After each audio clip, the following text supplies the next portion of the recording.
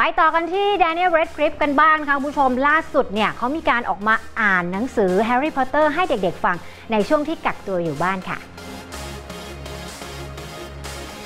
หนังสือ Harry Potter นะคะได้รับความนิยมไปทั่วโลกด้วยการนำไปแปลแล้วอย่างน้อยเนี่ย80 ภาษา และเนื่องจากหนังสือเล่มนี้ตีพิมพ์ครั้งแรกตั้งแต่ปี 1997 ค่ะ ดังนั้นในช่วง 2 ทศวรรษที่ผ่านมาเนี่ย จึงมีเด็กๆหลายรุ่นที่เติบโตมากับพ่อมดผู้นี้เนี่ยนะคะ ในช่วงโควิด -19 ระบาด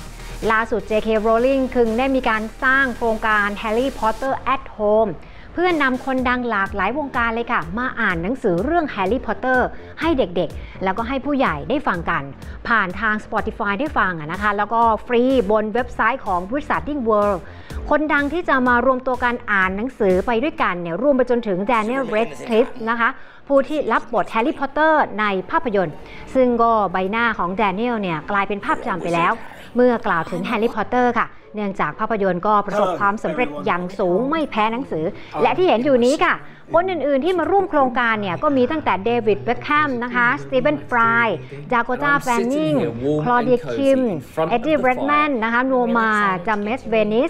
ซึ่งการเชิญเดวิดเบคแฮมมาร่วมงานในครั้งนี้เนี่ยเพราะว่าเขาเป็นหนึ่งในขวัญใจของคนทั่วโลกแล้วก็เป็นสัญลักษณ์ของชาวอังกฤษนั่นเองนะคะคุณผู้ชมเอาละค่ะ เพราะฉะนั้นถ้าอยากรับฟังนะคะคุณผู้ชมเข้าไปได้นะคะ รับฟัง Harry Potter and the Philosopher's Stone แฮร์รี่พอตเตอร์กับศิลาอาถรรพ์เนี่ยแหละค่ะ ภาคแรกของหนังสือเรื่องนี้ เริ่มปล่อยบทแรกมาให้ฟังกันในสัปดาห์นี้แล้วนะคะ ซึ่งเขาจะทยอยปล่อยบทใหม่มาทุกสัปดาห์ จนครบภาคแรกเนี่ยภายในเดือนสิงหาคมนี้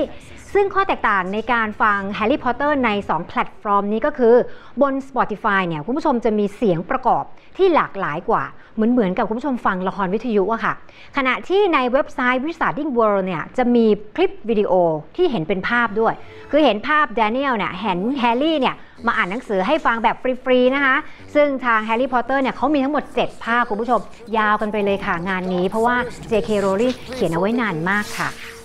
There's no magic to be used between the classes and the ขอบคุณที่รับชม TNN ช่อง 16 นะคะ อย่าลืมกด subscribe และกดกระดิ่ง เรายังมีวิดีโอที่น่าสนใจอีกเพียบเลยค่ะ และถ้าคุณผู้ชมไม่อยากพลาดการรับชมแบบสดๆ ก็สามารถติดตามได้ที่ Facebook TNN Live หรือว่าติดตามทางช่องทางอื่นๆที่ง่ายมากๆ เพียงแค่กดลิงก์ใต้วิดีโอนี้ค่ะ